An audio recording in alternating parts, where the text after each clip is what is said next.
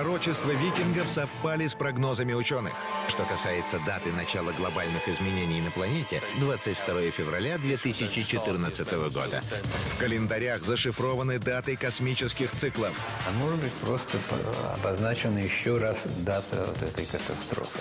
Земле угрожает новая опасность из космоса. Она может уничтожить человечество так же, как уничтожила динозавров. Тибетские монахи знают, как спасти планету. На Тибете действительно есть нечто, что может кардинально перевернуть мироустройство.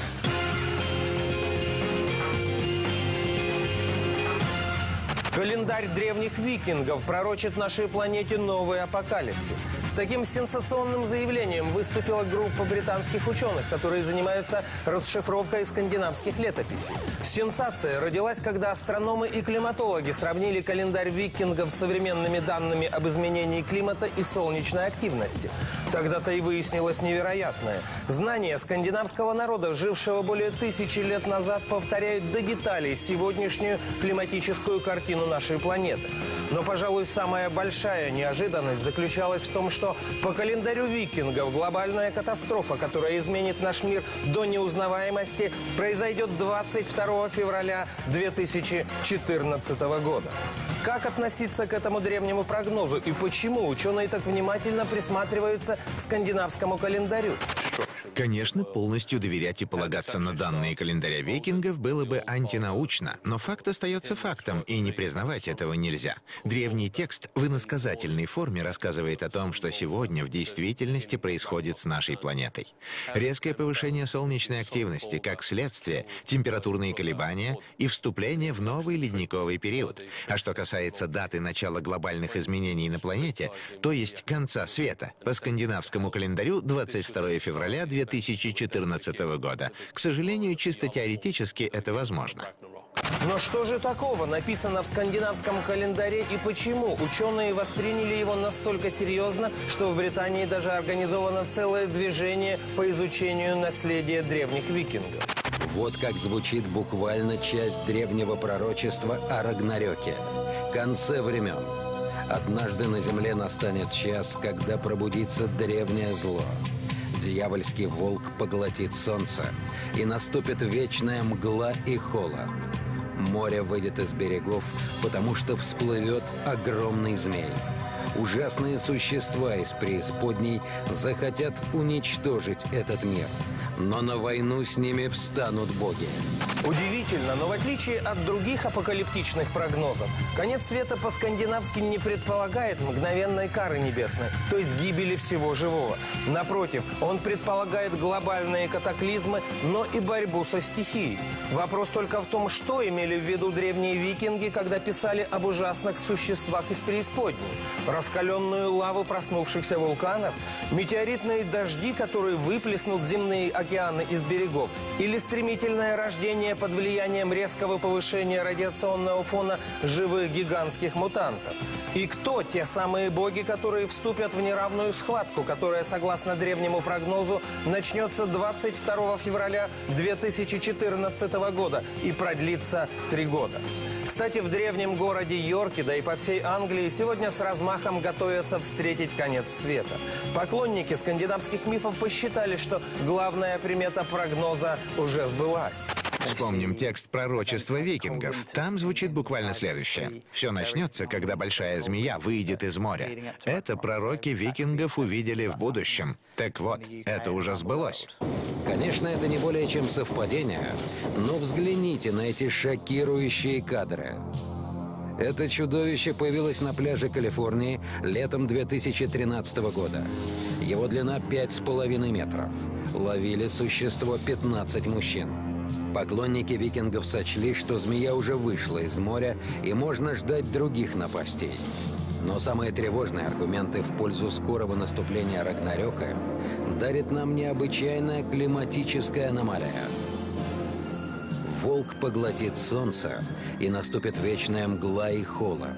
Писали викинги о начале 2014 года. Странное совпадение – но сегодня мы переживаем самую холодную зиму за всю историю современной цивилизации. Впервые в новой истории замерз Ниагарский водопад. Впервые за десятки тысяч лет снегом покрылись египетские пирамиды.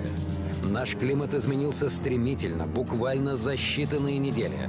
И то, что планета вступает в новый ледниковый период, который изменит нашу жизнь в ближайшее время, это уже научный факт ледники Ледовитого океана могут наступить на континентальную часть России.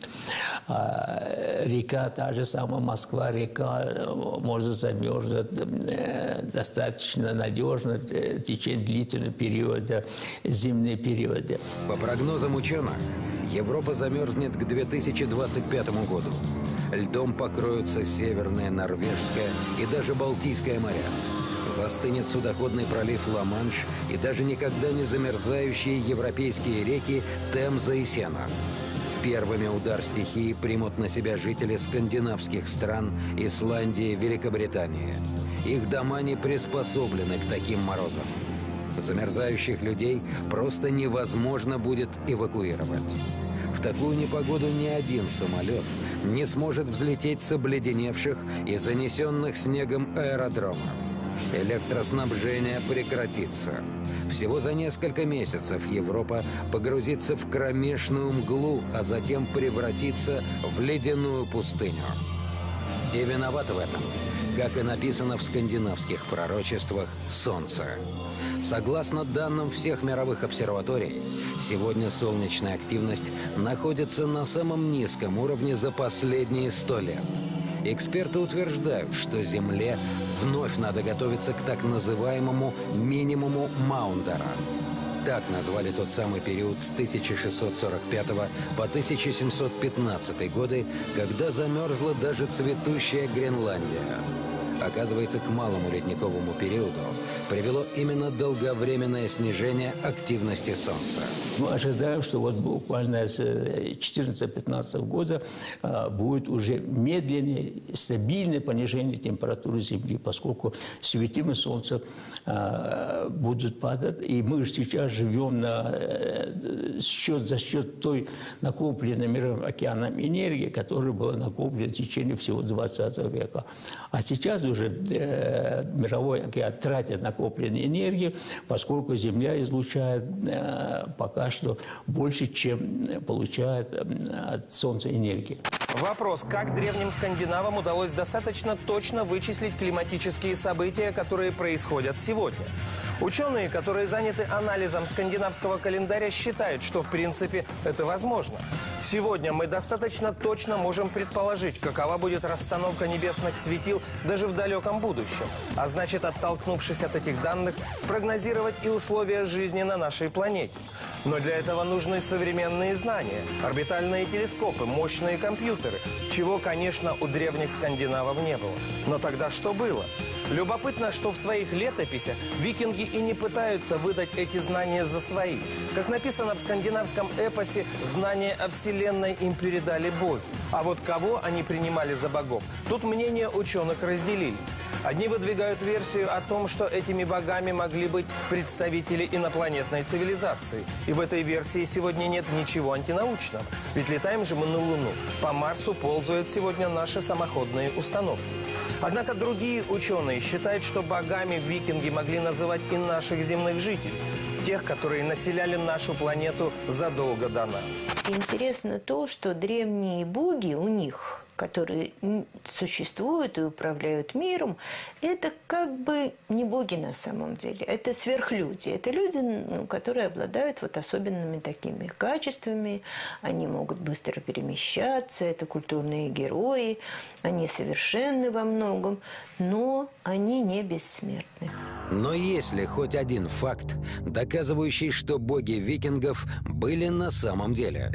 Этот странный предмет был найден весной 2013 года при прокладке подземного тоннеля в Швеции. Строители метрополитена увидели рукоять молота с древними рунами.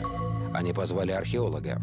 Сначала те предположили, что это инструмент кого-то из рабочих. Но дальнейшее исследование показало, что возраст породы, в которой лежал молоток, несколько миллионов лет. Как это возможно? Любители скандинавских саг с восторгом закричали, что находка – молот легендарного бога-громовержца Тора.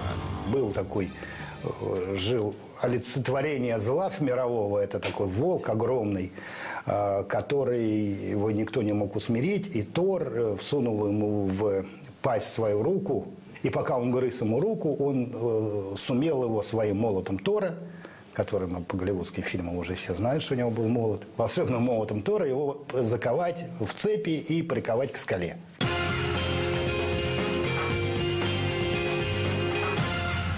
Куда ушло племя северных богов?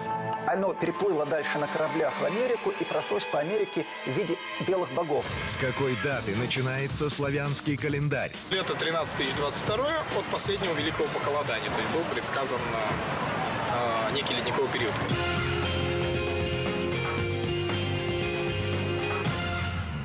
Ситуация вокруг скандинавского конца света позволила экспертам выдвинуть смелую версию. Возможно, тысячи лет назад на север Евразии пришли несколько представителей высокоразвитой цивилизации, которых древние скандинавы посчитали богами. Их было немного, но они обладали научными знаниями, в том числе о периодических катаклизмах, которые происходят на планете. Следы этой цивилизации есть не только на скандинавском полуострове. В Ирландии существовал любопытный культ богини Дану. Ее племя называлось Туата де Данан. Это были белокурые голубоглазые боги, которые пришли на остров севера. Согласно преданиям, племя богини Дану высадились, э, высадилось примерно, как считают, в шестом тысячелетии до нашей эры в Ирландию на каких-то с воздуха. То есть э, явно угадывается след, что они вылет... высадились на каких-то летательных аппаратах. Вот что говорится об этом в ирландском эпосе «Битва при Мактуэрет». На северных островах Земли были племена богини Дану, и постигали они там премудрость, магию, знания друидов, чары и прочие тайны, покуда не превзошли искусных людей со всего света. В четырех городах постигали они премудрость. Из Финдиаса принесли они меч Нуаду. Стоило вынуть его из боевых ножен, как никто уж не мог от него уклониться. И был он воистину неотразимым. Из Муриаса принесли они котел Дагда. Не случалось людям уйти от него голодными. Что же все это было на самом деле? Скатерть-самобранка? Меч-кладенец? Или мультиварка-синтезатор пищи и лазерное оружие? Они были совершенно передовым э, обществом и владели какой-то техникой, которая и оружием, которое было не, э, неизвестно другим окружающим народам, так еще были большой семьей. Древние кельтские предания говорят о летательных аппаратах сыновей Дану, в которых были механизмы. Приводились они в действие магическими конями, которые не имели ничего общего с животными. Они были покрыты железной кожей, не нуждались в пище, не имели ни костей, ни скелета. Это хорошо описано в истории о Кухулине, знаменитом ирландском герое. Во время схватки Кухулина удалось выбросить из колесницы противника два белых предмета, огромных, как мельничные жернова. Лишившись этих предметов, воздушная колесница врага обрушилась на землю с грохотом падающих доспехов. Согласно э, ирландским сагам, племя богиня Дану примерно в 1700 году до нашей эры или в 700 году до нашей эры, разные данные э, приводятся, покинула Ирландию, переплыла дальше на кораблях в Америку и прошлось по Америке в виде белых богов. Вначале по Северной Америке, по Южной Америке, принимая э, имена тех богов, которые существовали там задолго до этого. Это Кецалькаатль, Кукулькан, Бачика, Веракоча. И дошли они так вплоть до Перу. Вот согласно многим преданиям американских индейцев, тоже вот эти вот белые боги высадились на каких-то э, небесных журавлях, небесных птицах. И это довольно распространенный мотив в индийских преданиях. И, судя по всему, они действительно имели летательный аппарат. Судя по схожести североевропейского и славянского эпоса, такое же племя богов посетило и территорию нашей страны. Ряд историков придерживается версии, будто тысячи лет назад на Северном полюсе был материк Гиперборея. Он затонул в результате глобального катаклизма. уцелевшие представители этой высокой культуры стали расселяться на юг Евразии. При этом они оставляли местным народам, тогда еще не имевшим своей письменности, заветы о бывших и будущих глобальных катастрофах. Так и родилась песнь о Рагнарёке. Подтверждение этому историк Андрей Рерих нашел, когда выяснил, от какого события берет свое начало славянский календарь. Лето 7522 сейчас идет от создания мира в Звездном храме. Это лето подписания мирного договора э, после Столетней войны между китайцами и э, ну, представителями арийской цивилизации. А, подписывался мирный договор в храме, который назывался Звездный, поэтому датация ведется от этого числа.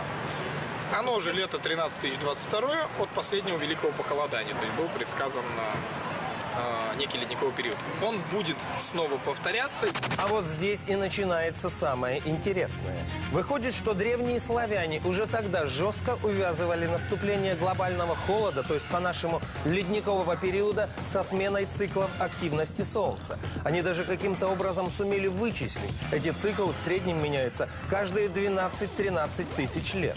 Собственно, об этом и идет речь в календаре викингов.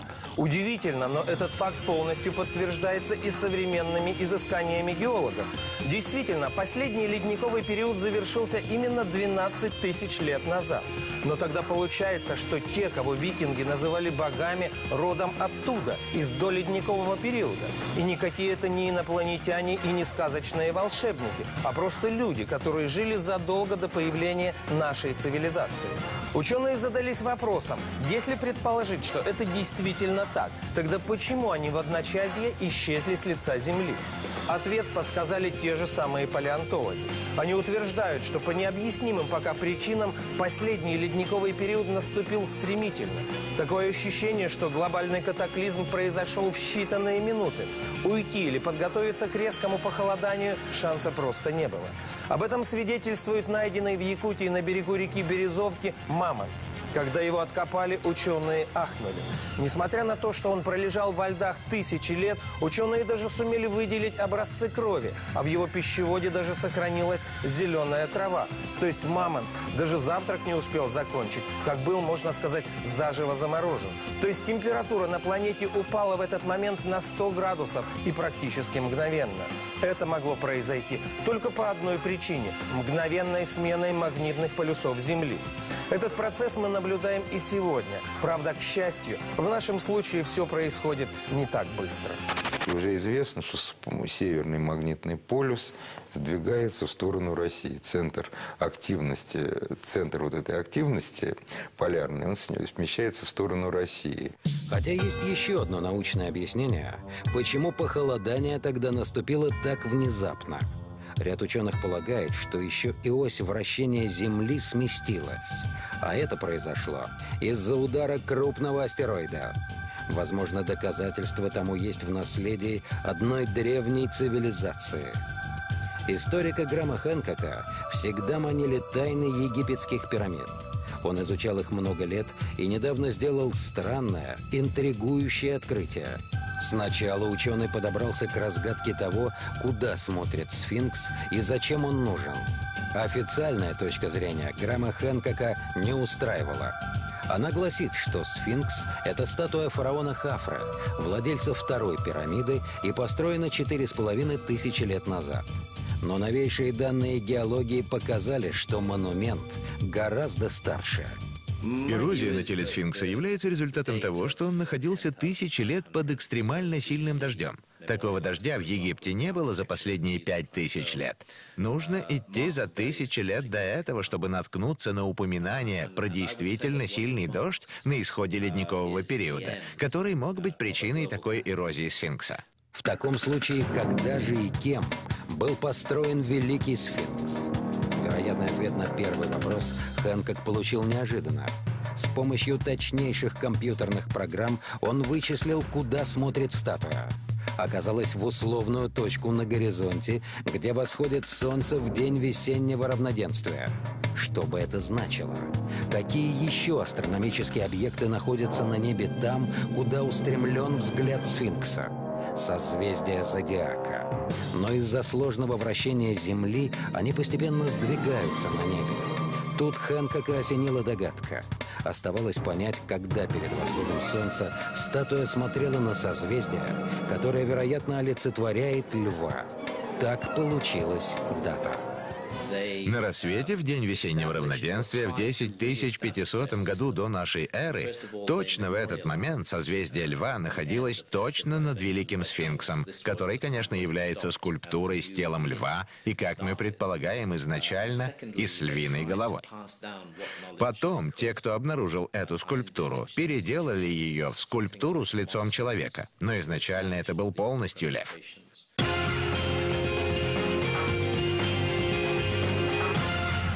Какой апокалипсис помнят пирамиды? Катаклизм был столь внезапным, что уничтожил в одночасье какую-то высокоразвитую древнюю цивилизацию. Что завещали боги древнего Египта? Это своеобразный катастрофный календарь э, очень важных событий.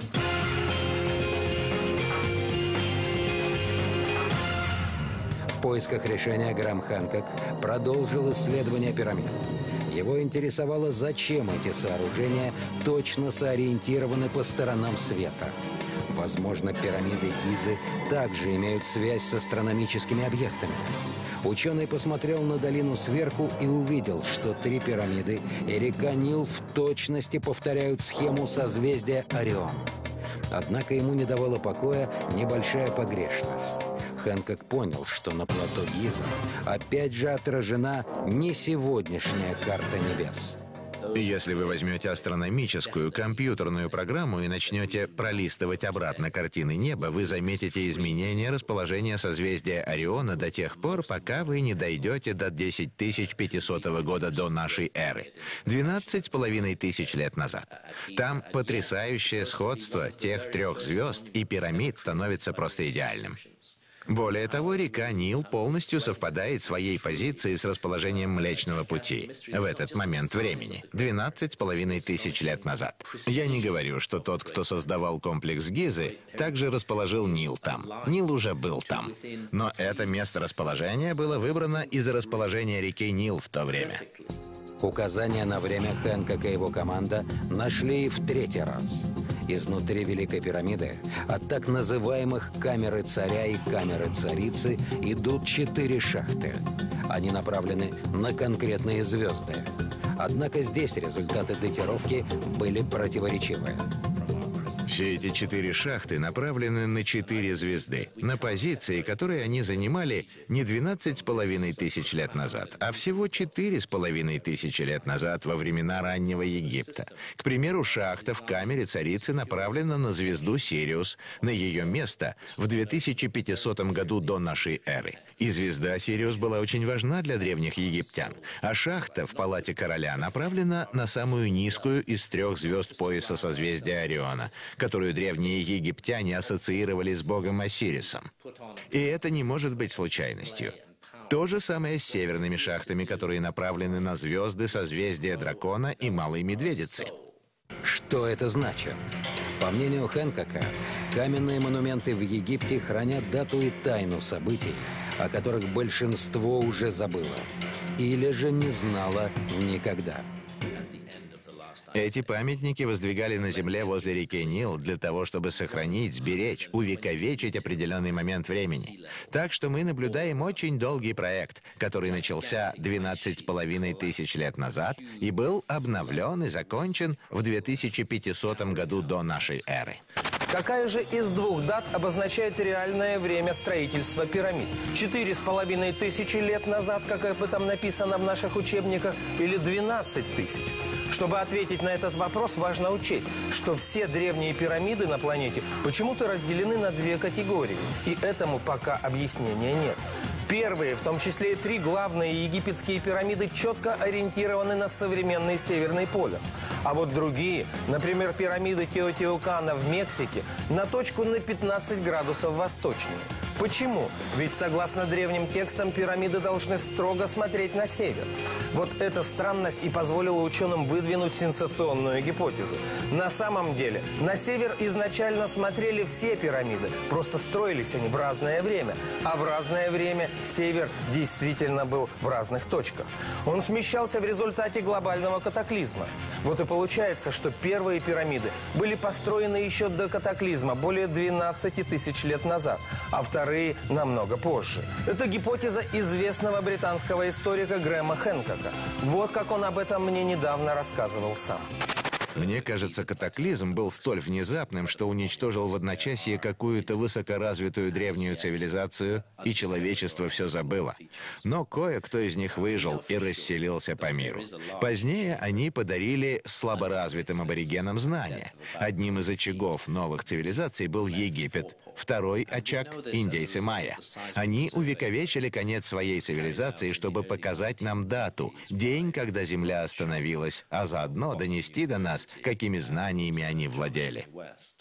Возможно, другой египетский артефакт даже расскажет, что конкретно случилось. Это каменное панно в храме богини Хатхор в городе Дендера. На нем изображены боги, обозначающие созвездия зодиака и планеты Солнечной системы. Барельеф называют Дендерский зодиак или календарь катастроф. На протяжении веков ученые бились над его расшифровкой.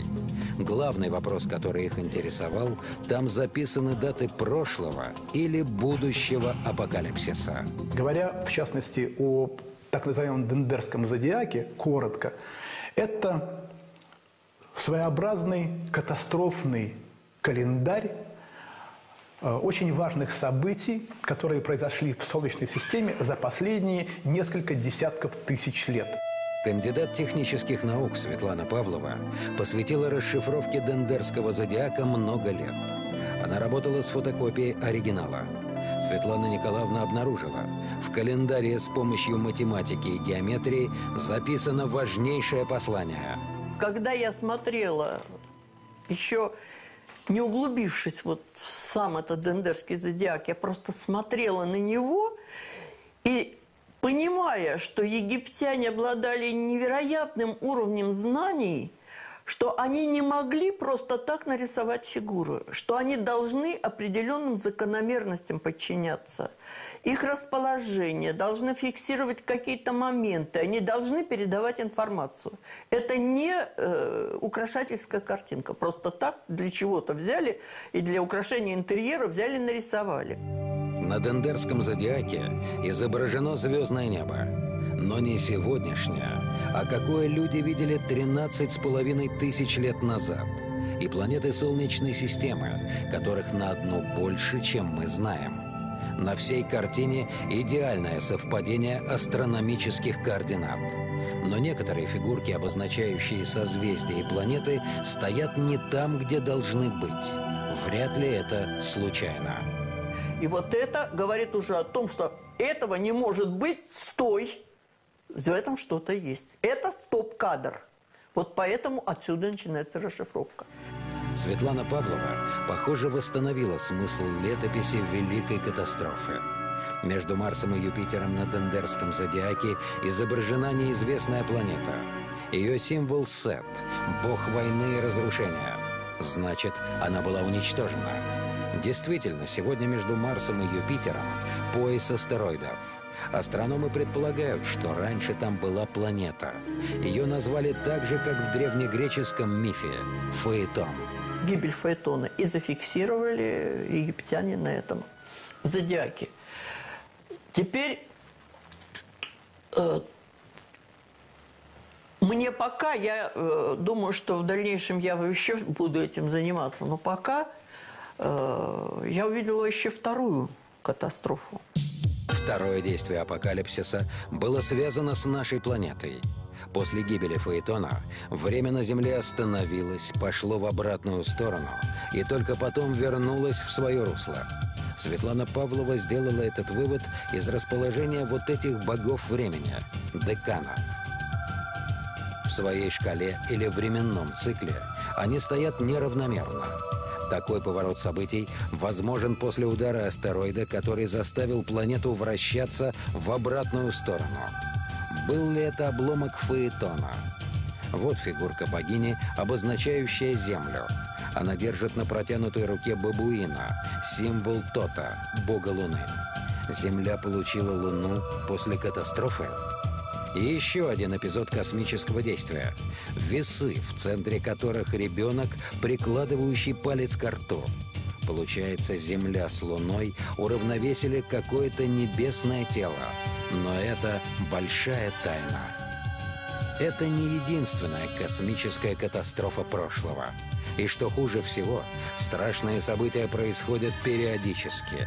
Светлана Павлова продолжает работать с Зодиаком, чтобы вычислить опасный момент.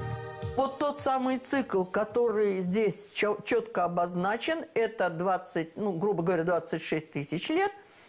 И этот цикл э, уже э, не единожды прошел по Земле.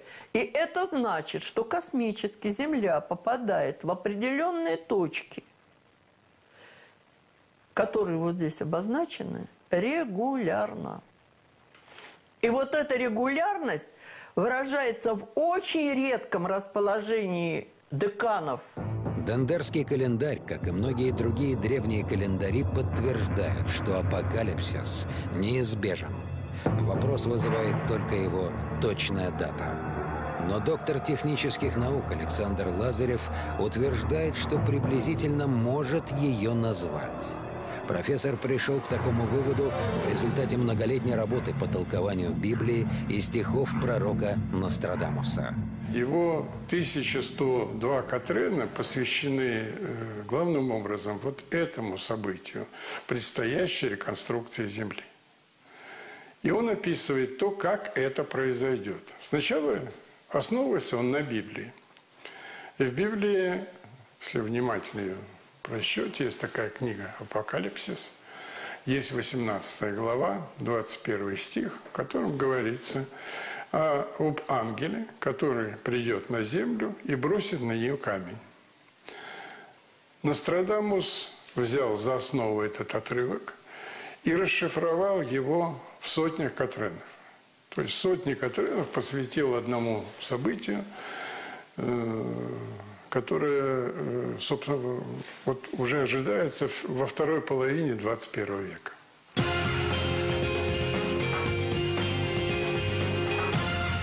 Что нашел великий физик в древних пророчествах? Исаак Ньютон сказал, что конец света не произойдет до 2060 года. О чем на самом деле говорил календарь Майя? На протяжении определенного периода времени планета будет переполнена болью и страданиями.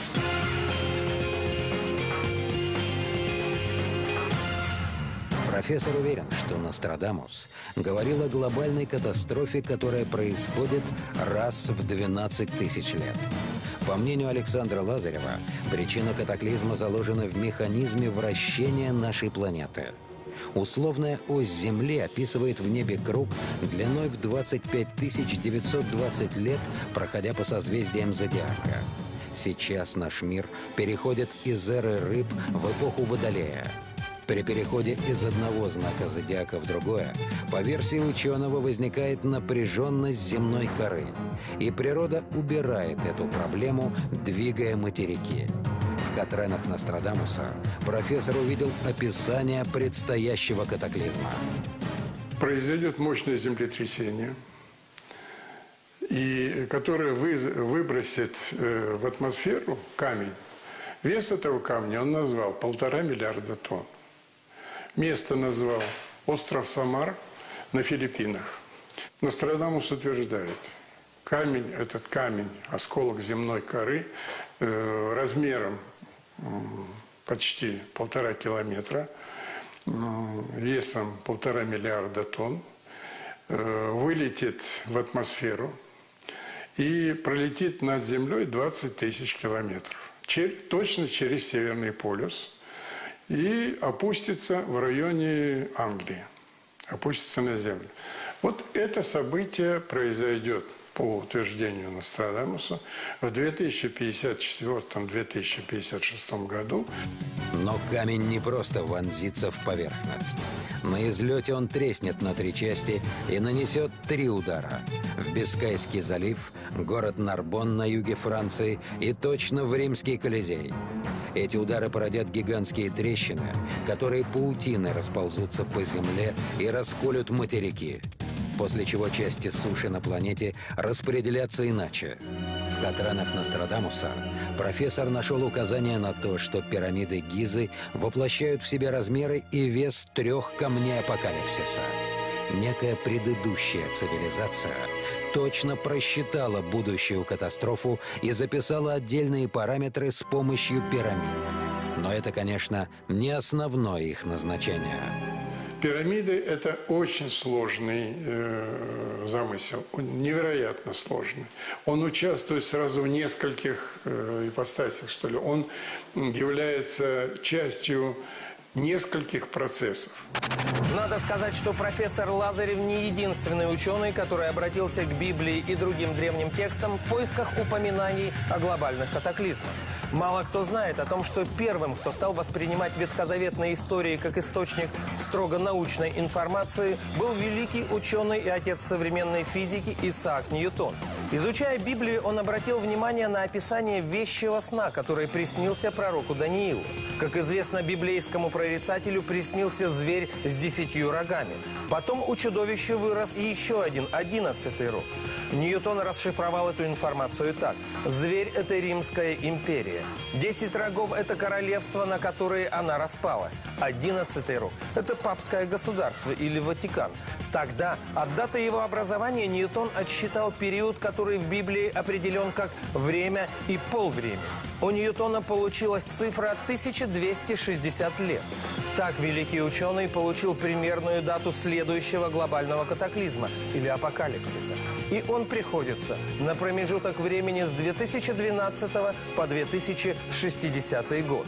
Вот что мне рассказал по этому поводу исследователь наследия Исаака Ньютона Роберт Айлев. В одном документе ближе к концу своей жизни Исаак Ньютон сказал, что конец света не произойдет до 2060 года.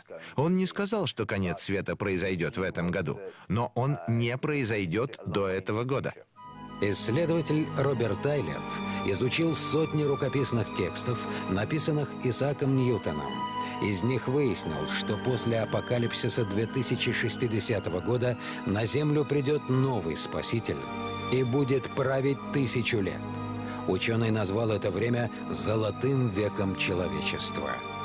Это будет Царство Отца Небесного. И через тысячи лет правления Христа, к концу этого, все плохие вещи будут повержены. И к концу тысячелетнего правления случится великая битва Армагеддон, и дьявол будет повержен. А после этого все будут жить в вечном мире, гармонии и процветании. Но до этого момента мир ожидают разрушительные войны, распри и катаклизмы.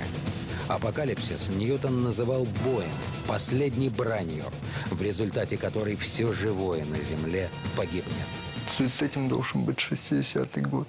Если говорить о словосочетании «последняя брань», по-английски прям называется «fight», большими буквами. Это будет непременно э, глобальная катастрофа, как ее обычно любит показывать Голливуд.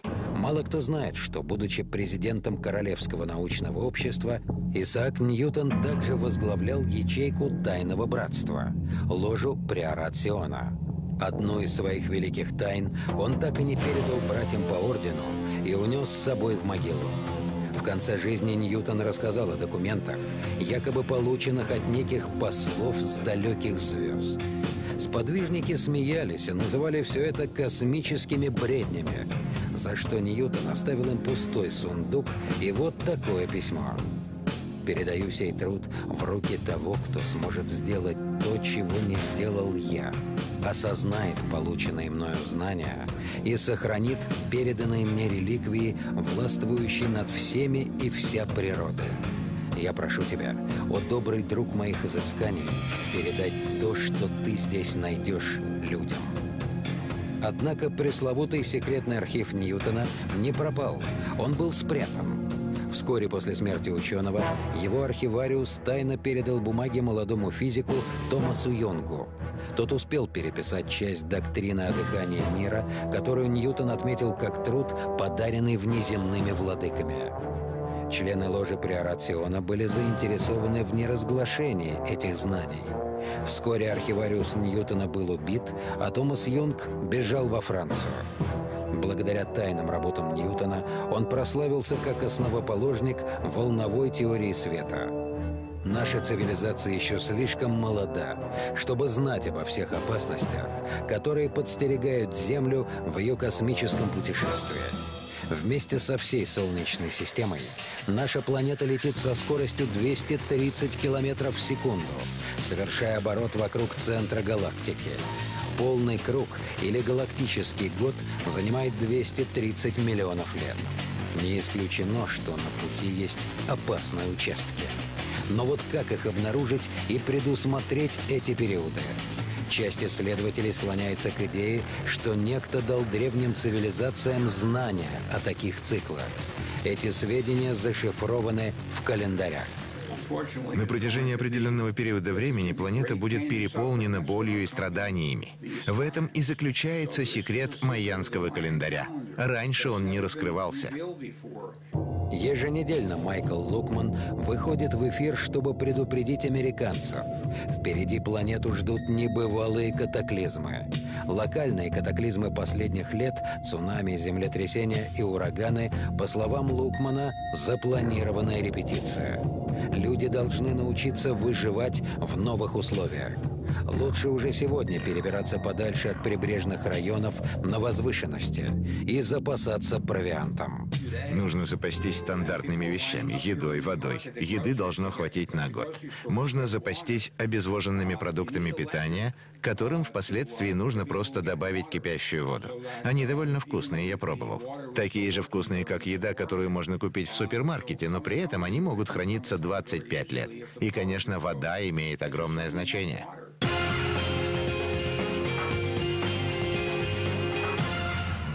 Какие знания зашифрованы в древних храмах? Это связано с генетическим кодом жизни на нашей Земле. Что в скором времени угрожает нашей планете? Одни ученые говорят, это смещение земной оси. И говорят, что это может быть действительно удар из космоса.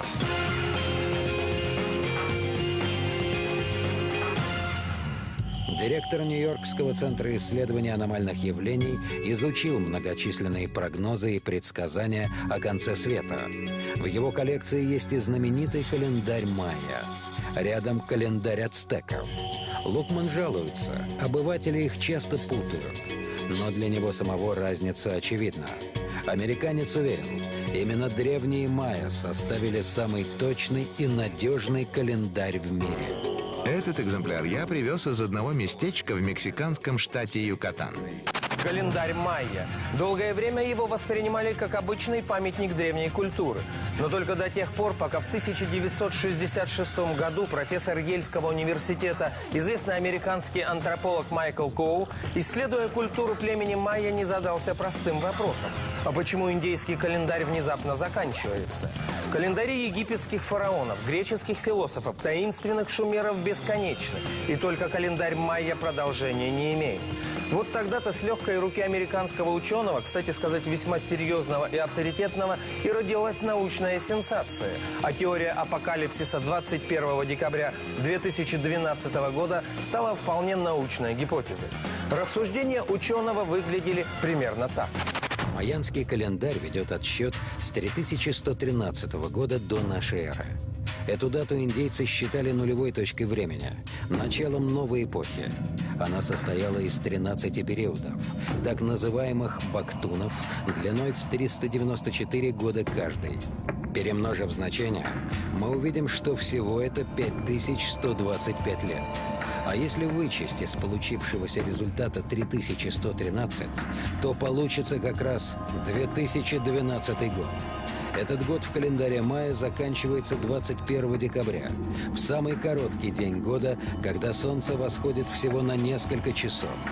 Именно потому, что календарь мая неожиданно обрывается, многие и предположили, что всему живому на Земле придет конец.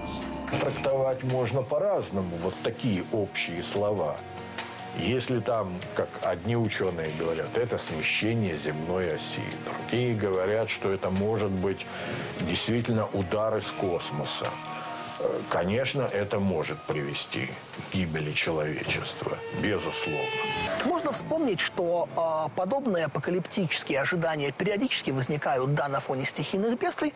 Ну и вообще всегда приятно думать, что не надо ничего делать, э, если мы все равно через два дня умрем.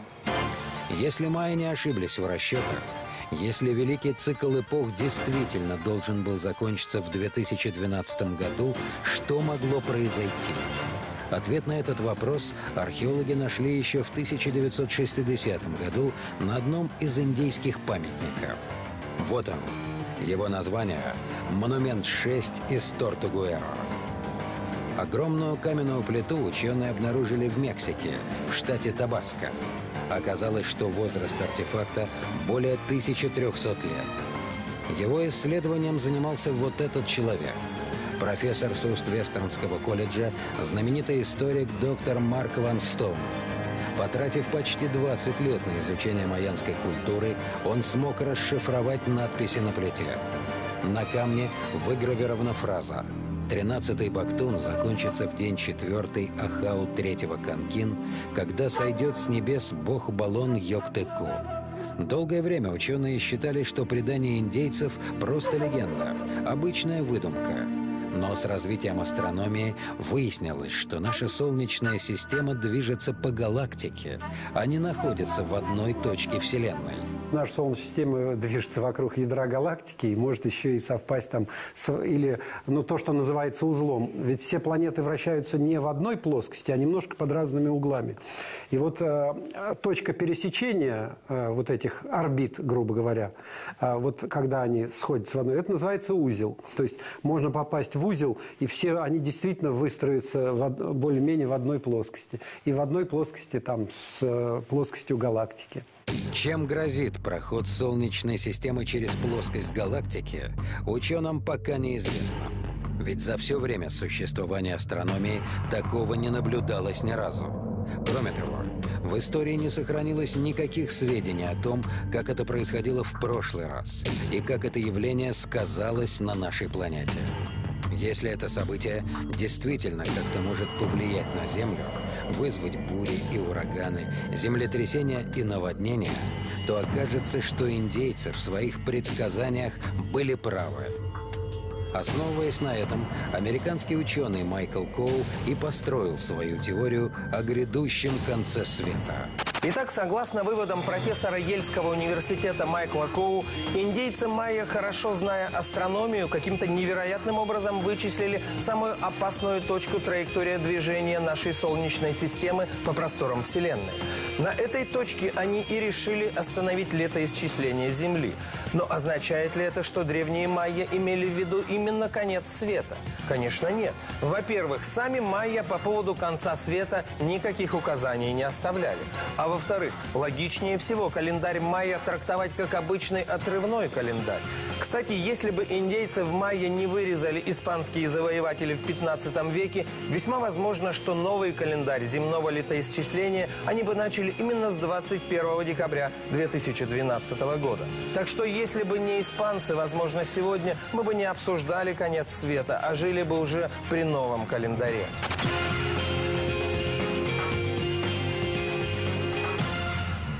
Что такое второе пришествие? Они полагали, что их космические боги вернутся в течение этого временного периода. Когда откроются звездные врата? Может, на самом деле это произойдет через 20 лет или через 50.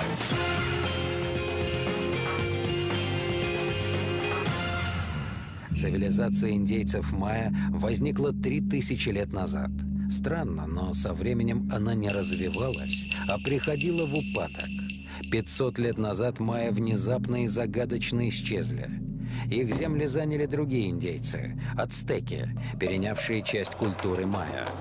И вот этот каменный жернов, который якобы пророчит конец света, наглядный пример смешения двух культур – Это, во-первых, не календарь, во-вторых, не майя. Это, судя по всему, неоконченный э, темалак, это такие алтари, на которых приносят жертву людей, значит, и по которым стекает человеческая кровь. В то же время календарь у майя действительно был и не один. Ежедневный, сельскохозяйственный, лунный, а также священный календарь Цолькин. Для больших отрезков времени майя использовали длинный счет – это сложнейшая структура, основанная на смешении 20, 18 и 13 ричных системах счисления. Она позволяла работать с датами, отстоящими на сотни тысяч лет назад и вперед. Зачем все это нужно было индейцам, никто не знает. Кстати, об удивительных загадках тех народов, которые когда-то в доколумбовскую эпоху населяли Америку. Принято считать, что когда европейцы высадились на американский континент, они столкнулись с племенами кровожадных дикарей, которые не знали даже колеса. Ходили с перьями на голове и при каждом удобном случае сдирали скальпы с доверчивых гостей из Европы. Но и те обходились с ними соответственно. Но так ли было на самом деле? А на самом деле, как сегодня выясняется, американский континент был населен могущественной и самобытной цивилизацией, которая во многих областях даже превосходила европейскую. Просто память об этом в течение столетий старательно вытравливалась из сознания европейцев.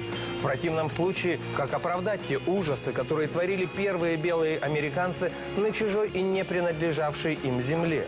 И сегодня на многие вопросы уже не ответить. Существует э, такая гипотеза, что э, календарь Майя был создан не самими представителями цивилизации Майя, а они получили его э, в дар от более высокоразвитых своих предшественников или, скажем так, наставников. Полуостров Юкатан.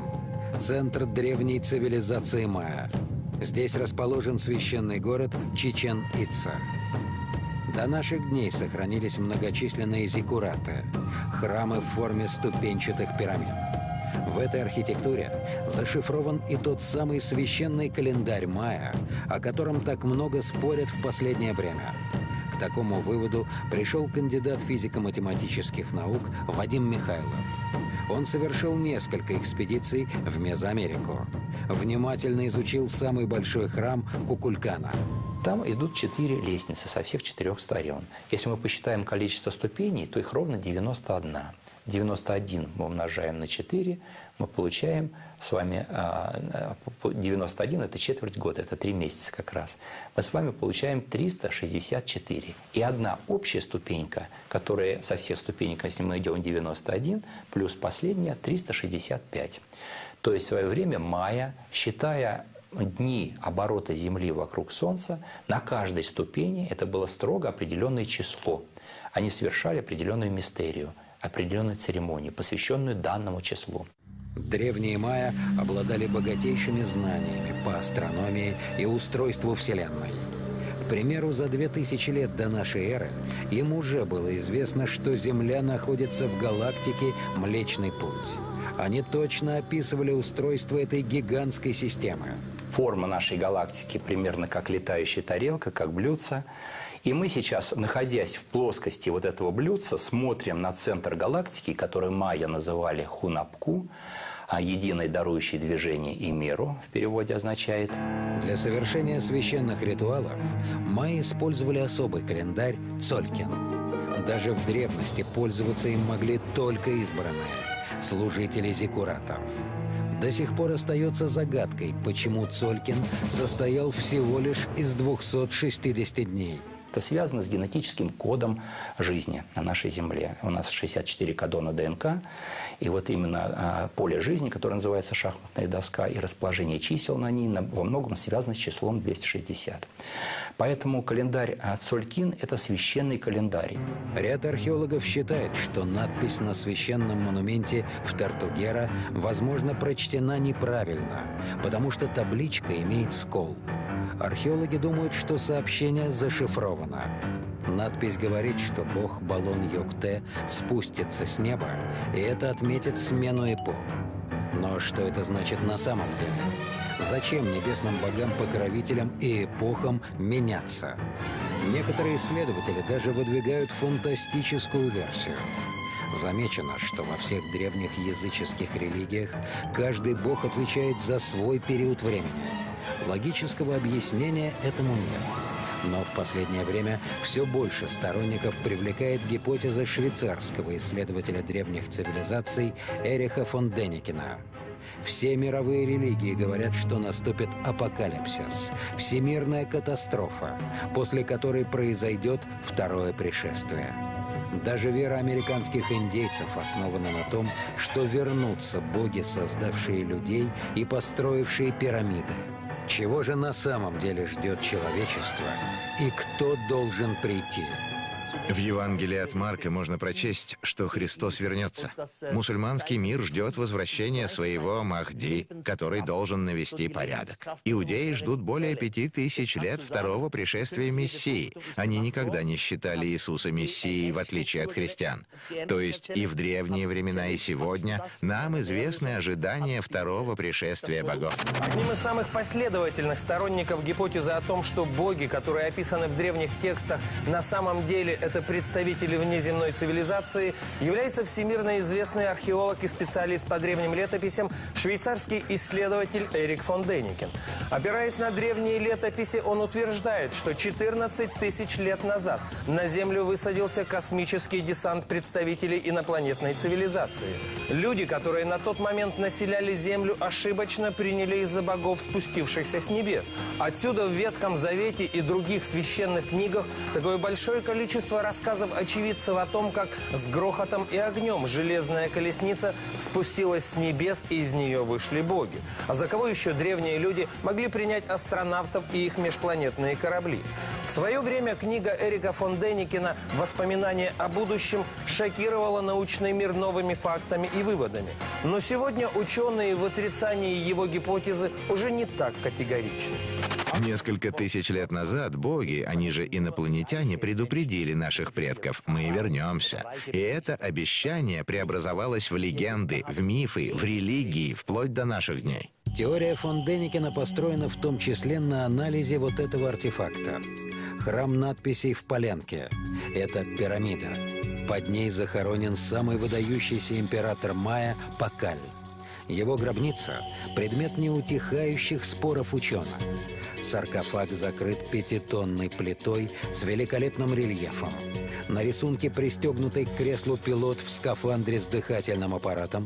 Рядом пульт управления космическим кораблем.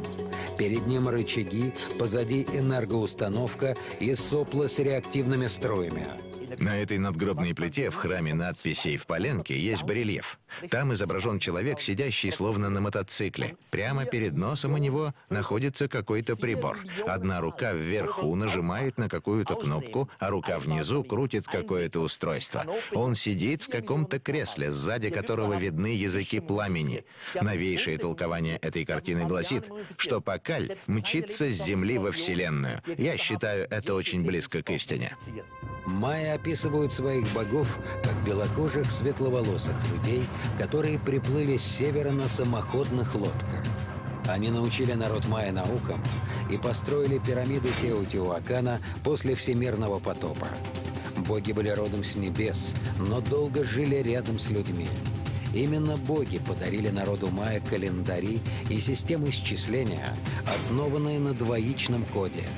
Однажды боги ушли, пообещав вернуться. Когда на американские берега ступили конкистадоры, майя обрадовались и пали ниц. Европейцы оказались очень похожи на богов. Это был для майя крах очень больших надежд. Тысячи лет они ожидали своих богов и пытались с ними связаться. Значит, там сверхъестественные существа, которые, ну, мы называем богами, хотя там они, наверное, не совсем боги в этом смысле. Ума и сложнее эти все концепции. По мнению Эриха фон Деникина, инопланетяне посещали Землю как минимум трижды, каждый раз с интервалом примерно в три тысячи лет. Люди получили от богов знания и с их помощью возвели пирамиды и храмы. Эти сооружения имели техническое назначение – когда боги ушли, человечество утратило их технологии и забыло, как все это использовать. Вот почему издревле люди ждут нового прихода богов. Эрих фон Деникен считает, что контакт с внеземной цивилизацией наступит очень скоро. Некоторые народы даже называют точную дату этого второго пришествия. Центральная Америка, племя майя, со своей специфической календарной системой. Майя утверждает, что 21 декабря 2012 года – это тот день, когда боги вернутся на Землю. Я в эту дату не верю. Дата – это как резиновая лента. Может, на самом деле это произойдет через 20 лет или через 50. Я не верю в дату, но убежден, инопланетяне обязательно вернутся к нам. И тогда у человечества появится проблема. Я называю ее шоком из-за богов. С этой теорией согласен и Майкл Лукман. 21 декабря 2012 года было не началом конца времен, а началом периода, когда следует ждать богов. Они не указали точное время его возвращения, но они полагали, что их космические боги вернутся в течение этого временного периода. Сторонники внеземного происхождения майянских богов выдвигают версию о вахтовом методе работы космической экспедиции. Командировка длиной в 5000 лет? Но почему именно такой срок? Есть версия, что этот период связан с некими космическими циклами. Возможно, в нашей вечно движущейся Вселенной иногда происходит событие, позволяющее богам посещать Землю. Это может быть, например, сближение планет или галактик на минимальное расстояние, или совмещение энергетических полей, которое открывает пространственно-временной коридор между мирами. Но поскольку мы сегодня не видим никаких богов, миссия предыдущего десанта была закончена раньше – почему это случилось и куда они ушли.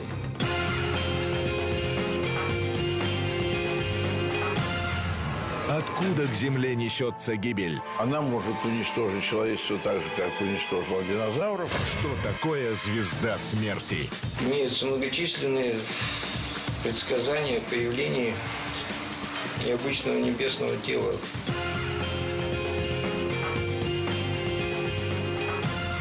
Данном случае наиболее активные угрозы, наиболее такие животрепещущиеся угрозы астероидные и кометные.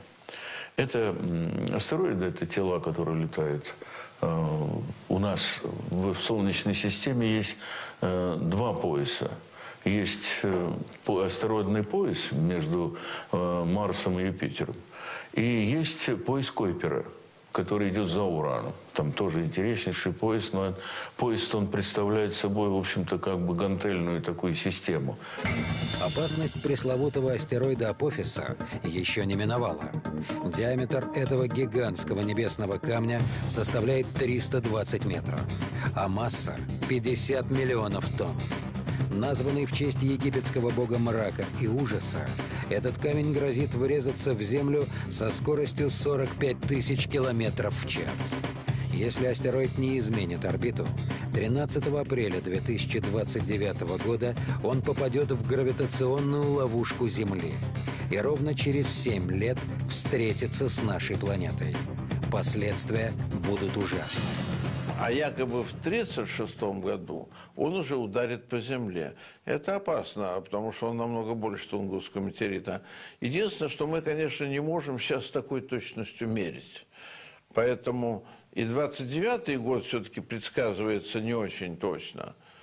А, ну, э, год-то предсказать точно, а вот как он пройдет от Земли.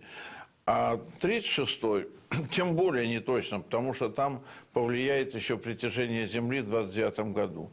Так что, в принципе, эта опасность есть. А, она может уничтожить человечество так же, как уничтожила динозавров. Надо сказать, что наша планета с крупными астероидами сталкивалась уже неоднократно. И каждый раз это меняло облик Земли до неузнаваемости. Такой удар 65 миллионов лет назад уничтожил доисторических жителей Земли, динозавров и ящеров, сделав условия на Земле непригодными для их обитания. Метеориты поменьше оставили на поверхности нашей планеты множество гигантских кратеров. За последнее столетие произошло как минимум четыре серьезных столкновения астероидов и метеоритов с Землей. 1908 год. Падение Тунгусского метеорита. Крайне странное происшествие, потому что ученым так и не удалось обнаружить следы самого небесного камня. Ни в воронке, ни далеко вокруг. Один из моментов, что инопланетяне взорвали Тунгусский метеорит, и он не централизованно упал, и так мог бы повредить земную твердь, и тем самым уже развитой цивилизации. Да и упал-то он в какой-то там, извините меня, э, местности совершенно ненаселенной аборигенами, типа Чукчи. И еще их там, ну, сотни человек всего лишь проживало в этом месте. Вот, и нанесли им ущерб только.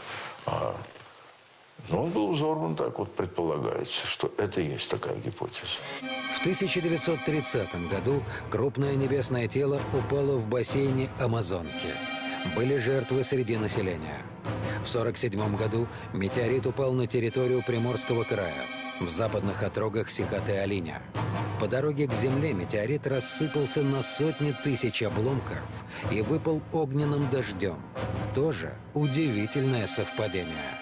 Действительно, тут э, будешь верить Богу, потому что действительно как-то спасает пока все человечество. Смотрите, все крупные небесные тела, которые ну, в, последний, в последний век рухнули. Да? Это Тунгусский метеорит, метеорит, э, Витимский метеорит и Сихотэ-Анлинский. Да? Они все упали вот в такие места, вот как нарочно. Прям. Природа выбирала такое место, куда бы шарахнуть, где людей поменьше живет. Сегодня ученые разрабатывают несколько способов спасения нашей Земли от падения крупных астероидов. Первый способ. К опасному космическому телу предлагается послать ракету с ядерным зарядом. Взрыв уничтожит незваного каменного гостя. По второму варианту предполагается отправить космический корабль, который выйдет на орбиту астероида и попытается изменить его орбиту. А третий – установить на опасном астероиде солнечный парус и отправить его во Вселенную куда подальше. Проблема только состоит в том, что нет технического решения, как точно попасть в этот астероид и не промахнуться. Ведь скорости в космосе поистине огромны. А что такое крупный астероид в масштабах бескрайнего космоса? Это даже не песчинка, это вообще ничего. Человечество, возможно, еще найдет выход из этого тупика. И либо ему помогут некие высшие разумные силы в виде инопланетян или кого угодно, Э, мы пока не знаем, что это за силы будут, но, возможно, эти силы, которые, как многие эзотерики считают, наблюдают за нами и нами руководят, как-то нам помогут отойти от края пропасти и не броситься в нее вниз головой, что было бы весьма печально. Еще совсем недавно с телеэкранов и газет не сходила тема прилета некой странствующей планеты Нибиру. Согласно теории американского журналиста Захарии Ситчина, который вольно перевел древнешумерские тексты, каждые 3600 лет Нибиру якобы пролетала мимо Земли. Из нее высаживались пришельцы и экспроприировали у людей золото. Исследователь не знал, что словом Нибиру в шумерском языке обозначается планета Марс. Бродячая планета – похоже его добросовестное заблуждение – Однако миф о Нибиру наложился в современном фольклоре на древние тексты, упоминающие о периодическом пролете недалеко от Земли странного небесного тела. Древние греки называли его Тифон, индейцы майя – Хуракан. Его появление в земном небе означало наступление страшных катаклизмов. Смертельный космический гость всегда возвращался – есть данные, что он прилетит еще раз. И это как раз информация астрофизика. Имеются многочисленные предсказания о появлении необычного небесного тела. В пророчествах оно так и называется звезда, хвостатая звезда, страшная звезда, косматая звезда. Удивительно, что не, этого не замечали раньше. Ученые предположили, что в древних текстах описана нейтронная звезда класса Пропеллер, которая является остатком от взрыва сверхновой звезды. Она не излучает ни в рентгеновском, ни в радиодиапазоне, поэтому ее нельзя обнаружить. Ее орбита сильно вытянута, и периодически она сближается с Землей. Выглядит это как огненный крест на небе рядом с Солнцем, который семь дней подряд наводит ужас на людей. Древние народы запомнили беды, которые она приносит, и оставили предупреждение потомкам. В предсказаниях довольно подробно описывают события, которые произойдут во время сближения этой звезды с нашей планеты. Причем, возможно, уже в 2025 году она появится в небе Земли.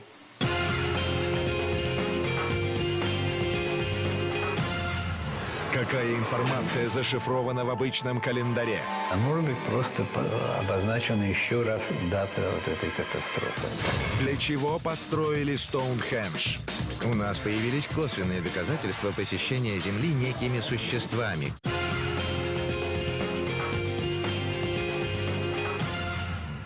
Владимир Пахомов, математик, офицер космических войск и научный сотрудник Института ядерных исследований, обнаружил в обычном календаре послание инопланетян. Ученый прочел шифровку и нашел даты Великого потопа и конца света, домашний адрес отправителей и тайник на Земле, где хранятся секретные технологии.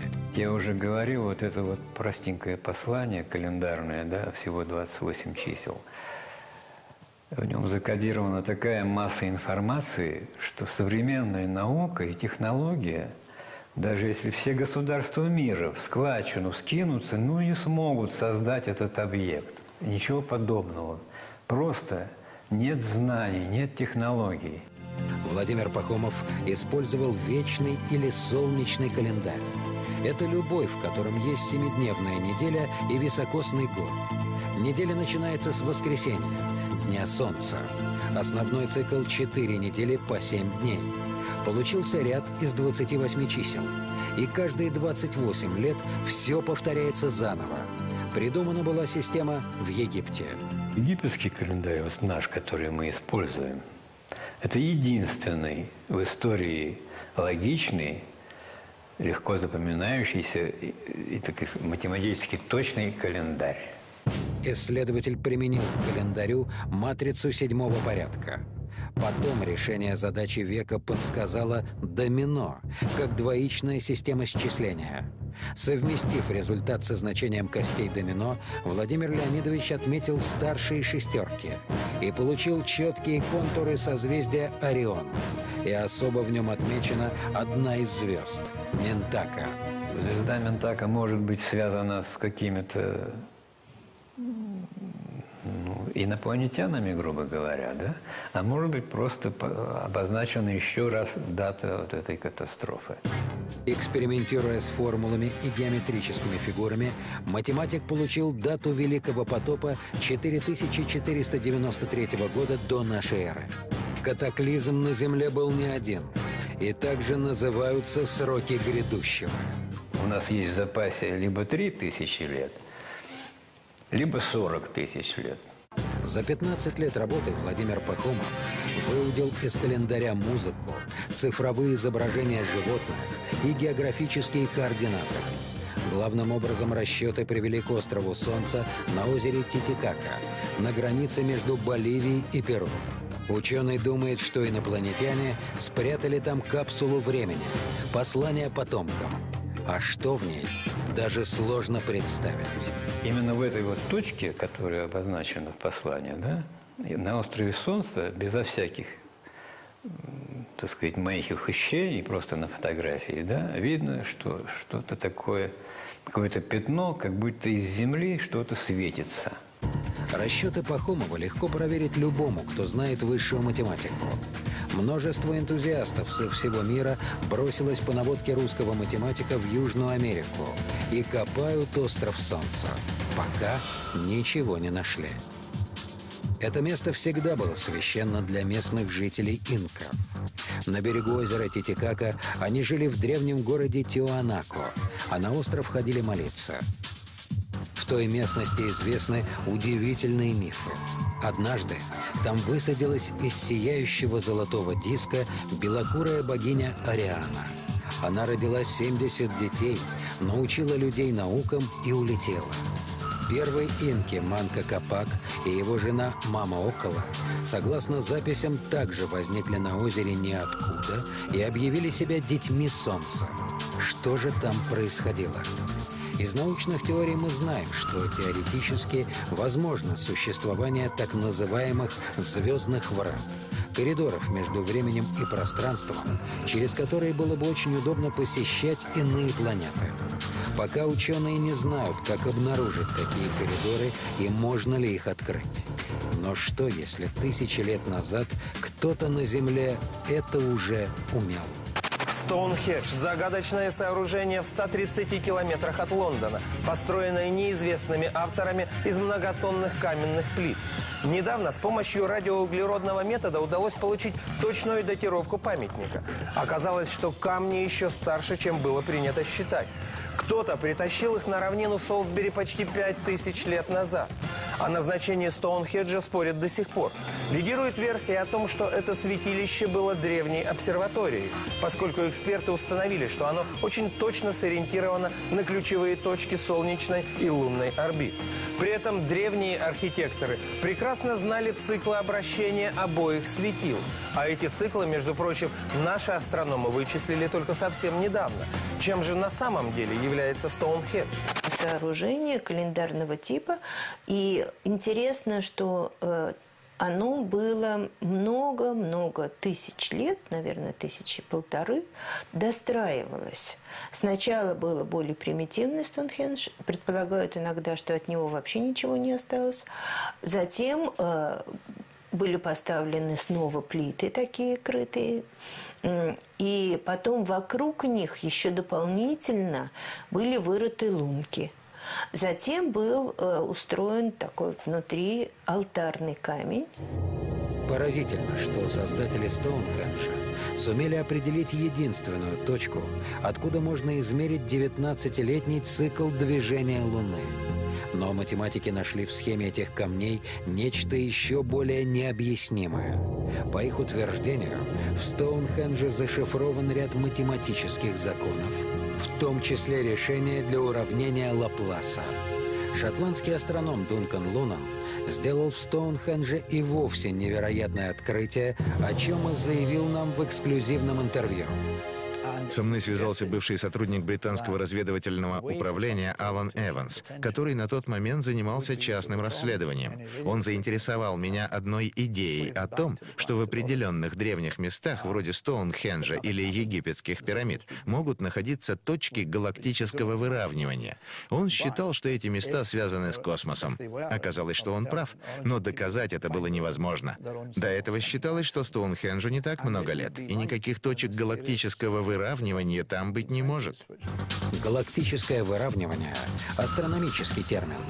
Он обозначает процесс, когда в день зимнего солнцестояния условная линия, соединяющая Землю и Солнце, направлена в центр нашей галактики. Точка, в которую упирается эта условная линия на Земле, сдвигается, но неизвестно насколько. Можно вычислить, где на Земле находились эти точки во время предыдущих случаев. По странному совпадению, именно там стоят древние сооружения. Это навело ученых на смелую мысль. С тех пор, как появилась корректная дата появления Стоунхенджа, все встало на свои места.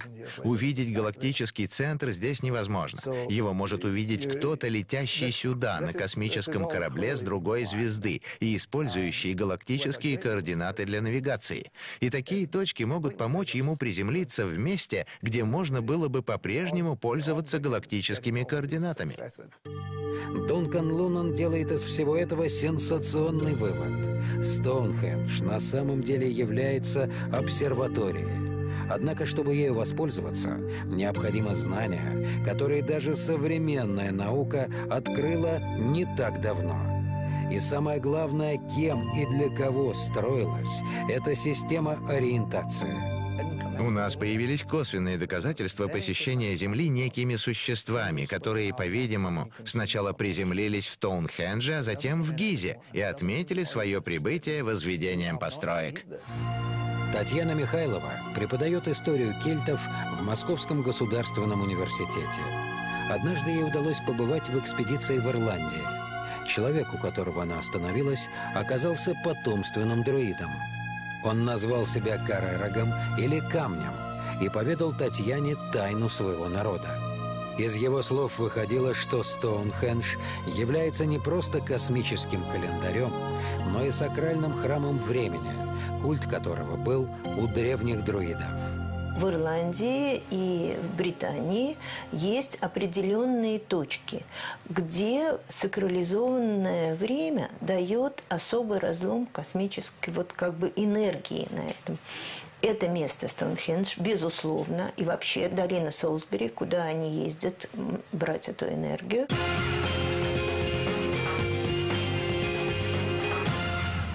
Что скрывают тибетские монахи? На Тибете действительно есть нечто, что может кардинально перевернуть мироустройство. Какого конца света ждут буддисты?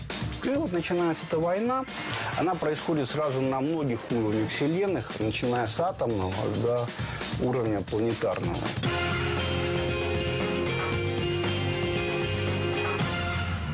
Вопрос назначения Стоунхенджа давно занимал геолога Михаила Бурлешина. Однажды ученый увидел его изображение на снимке из космоса. С орбиты это сооружение выглядело как правильный круг, состоящий из больших каменных пластин. Круг был разделен на 12 равных частей и напоминал гигантские часы или огромный календарь. Михаила Бурлешина заинтересовала находка, и он решил проверить, встречаются ли еще в мире подобные сооружения. Оказалось, что на территории практически каждого древнего государства есть строения своим видом, сильно напоминающие Стоунхендж. Вот здесь 25 тонн, а там 200 тонн поднято. Ну, да, на- там, и получается, там и календарь, и солнечная система. Причем с элементами, которые сейчас не осталось. По версии некоторых исследователей, в странной конструкции из камней скрыт тайный код даты грядущего апокалипсиса. Современные последователи друидов каждый год приезжают в эту долину 21 декабря, чтобы проследить, как ровно в полдень солнечный луч проходит сквозь камни Стоунхенджа. Считается, что в день, когда Солнце не высветит свою привычную траекторию, начнется гибель Земли. Возможно, одной из, одна из планет упадет на Солнце, вот ближе Меркурий. Ну, все может быть. Еще одно строение друидов – Нью-Грэндж в Ирландии. Магическое культовое сооружение, находящееся в 40 километрах от Дублина. Нью-Грэндж – это гробница, расположенная внутри погребального кургана. Узкий длинный коридор ведет в камеру, стены которой выстроены из гигантских мегалитов весом от 20 до 40 тонн. Предположительно, это странное сооружение, так же как и Стоунхендж, являлось древним инструментом, по которому определяли время, в том числе даты будущих катастроф. в точку, когда в день зимнего солнцестояния восходит солнце, внутреннюю камеру освещает пронзительный яркий солнечный луч. Это очень странный эффект. К сожалению, я не имела возможности никогда его видеть. Сейчас он длится около 20 минут, этот эффект. А раньше, вот как астрономы вычислили, почти час это происходило. Странный, непонятный современному человеку ритуал, в ходе которого древние люди следили за движением времени. Когда луч проникал внутрь камеры, он высвечивал плоский алтарь, на котором лежал круглый камень, напоминающий условное яйцо. Видимо, это яйцо было символом зарождения и развития жизни. Но особый интерес историков вызывают спирали, которыми пронизаны все стены гробницы. А, Там есть изображения очень интересные а, спиралей, но не на этом э, камне, а, во-первых, на внутренних стенах а, по которым двигался человек, видимо, возможно, были какие-то ритуальные обходы этого алтарного камня. А с другой стороны есть такой зам- так называемый замковый камень у входа. И там тоже изображены спирали. Что это за спирали? Считается, что это изображается время, потому что человек, с одной стороны, движется по кругу, по времени, то есть на самом деле движется не, не человек, то есть, то есть, вернее, самое смешное я правильно сказала, движется человек вместе с землей, на которой он стоит. А время само по себе не движется, это движется пространство. Получается одновременно день крутится, год крутится, а но тут уже Земля идет вокруг Солнца. Человек считал, что Солнце идет вокруг Земли. Но одновременно и Солнечная система каким-то образом тоже движется. И вот это тройственное движение рождает спираль. По мнению исследователей, спираль символизирует цикличность времени и повторяемость глобальных планетарных и космических катастроф. Но как определить конкретный период? Именно точную дату конца времен искали и во многих других календарях. В 1925 году по личному решению Феликса Дзержинского и при организации спецотдела ОГПУ Глеба Боки в Тибет был направлен агент советской разведки Яков Блюмкин. На оперативные расходы ему была выделена колоссальная по тем временам сумма в 100 тысяч золотых рублей. Речь идет именно о том знании, которое позволит э, что-то привидеть и чем-то управлять. И Германия, и Союз, они в каком-то смысле противостояли друг другу, и э, между ними шло соревнование, которое, как считали они, лидеры, э, скажем так, тех стран или тех структур, которое позволит им победить вот этой войне. Надо сказать, что окружение Гитлера, помешанное на идее разыскать технологии древних ариев, решило отправить на Тибет свою секретную миссию. Экспедиция состоялась в 1938 году под руководством биолога Эрнста Шефера. Однако под видом ученых и дипломатов от нового правительства Германии в Гималаи отправились офицеры вермахта. Известно, что экспедиция пробыла в Тибете почти два месяца. Как утверждают источники, тибетские ламы поверили, что гитлеровцы намерены действительно строить справедливое общество, и прием оказали вначале радушным. О чем свидетельствуют и вот эти кадры. Что же касается древних знаний, которыми якобы ламы поделились с немцами, тут версии расходятся, потому что рассекреченных документов на эту тему по-прежнему нет. Значит, и представители АННРБ, и представители э, советских спецслужб э, искали на Тибете, собственно говоря, примерно одно и то же.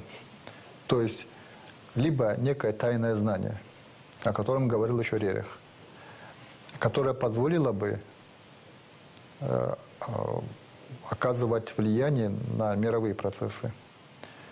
Вот. Либо секретное оружие, которое, опять же, могло бы, давало бы возможность оказывать влияние на мировые события. Либо какие-то вот э, тайны, которые позволили, позволили бы заглянуть за какой-то предел знаний. То есть речь шла о том, что на Тибете действительно есть нечто, что может кардинально перевернуть мироустройство. По одной из версий, и Гитлер, и Сталин пытались обнаружить древний тибетский календарь.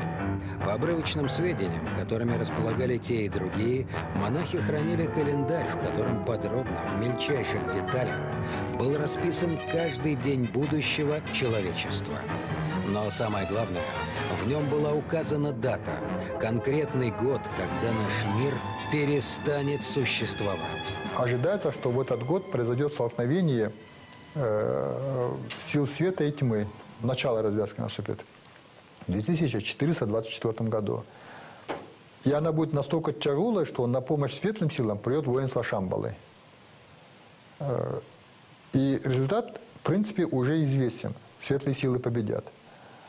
Но как долго это будет длиться, чего это будет стоить, как это случится, э, ну, это, видимо, нужно еще изучать источники, но уже то, что сегодня изучено, позволяет говорить определенно, что год действительно это 2424. Эта дата обозначена в Калачакре, буддийском учении о колесе времени – Согласно предсказаниям, в день конца света разверзнутся все земные и небесные врата, и воины Шамбалы выйдут из своего укрытия, чтобы защитить мир. Такое событие должно было наступить. Оно, скорее всего, наступит. Но это не означает, что это финальная дата. Дата может сместиться, понимаете, она может, так сказать, э, перемещаться туда или сюда.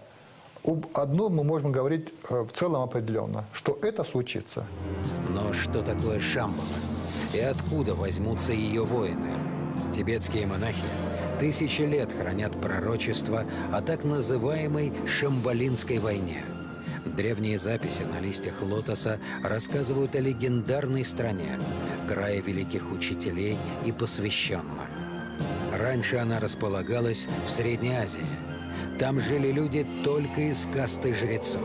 Индийское королевство, которое находилось в районе вот бывшего Советского Союза в Средней Азии. Это район Сырдарьи.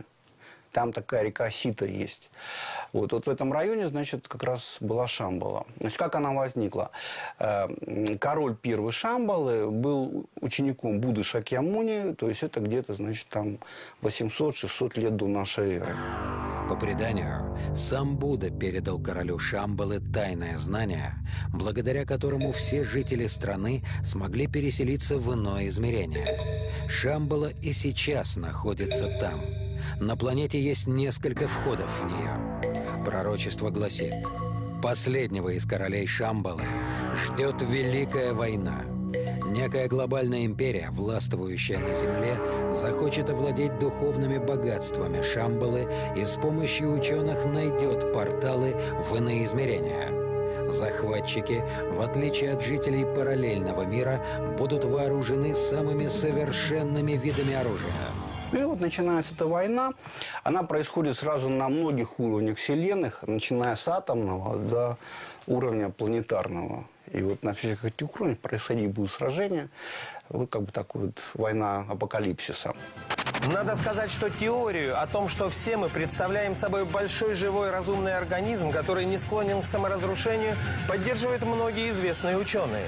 Оригинальное доказательство этой гипотезы недавно представил астрофизик Дэвид Несворный из Юго-Западного исследовательского института в Сан-Антонио. Согласно его расчетам, Земля должна была неминуемо погибнуть еще в самом начале своей жизни. Как известно, тогда в Солнечной системе было 9 планет. Но как только одна из них вышла на земную орбиту и столкновение оказалось неизбежным, неведомая сила вытолкнула нарушителя космического порядка за пределы Солнечной системы, и апокалипсис не состоялся. Многие ученые уверены, что каким-то неведомым образом космос сохранил жизнь нашей планете. В это же верили и индейцы майя, которые, как известно, хорошо разбирались в астрономии. Они не сомневались, что Вселенной что-то или кто-то управляет, какая-то неведомая сила. Именно об этом индейцы писали в своих текстах, которые ученые находят и расшифровывают до сих пор. И, возможно, в недалеком будущем мы все-таки узнаем, что именно произошло много тысячелетий назад. Что означали пророчества и чего хотели неведомые боги майя, которых мы сегодня называем природой. Только разобравшись в этом, человечеству станет ясно, чего ждать от будущего. Это была территория заблуждений. Я желаю вам космического счастья, вселенской удачи и вечной любви. Но прежде чем попрощаться, еще раз напомню, что недавно в издательстве «Эксмо» вышла вот такая книга под названием «Территория заблуждений». В ней мы собрали наиболее интересные факты, версии и гипотезы ученых и исследователей, чьи взгляды не вписываются в классические представления об окружающей нас действительности. Книга уже в магазинах, но если кому не хватит, звоните, пишите, мы что-нибудь придумаем. До встречи уже в следующий вторник в 20.00. С вами был Игорь Прокопенко, но не переключайтесь, потому что сейчас вас ждет пища богов. Будет вкусно.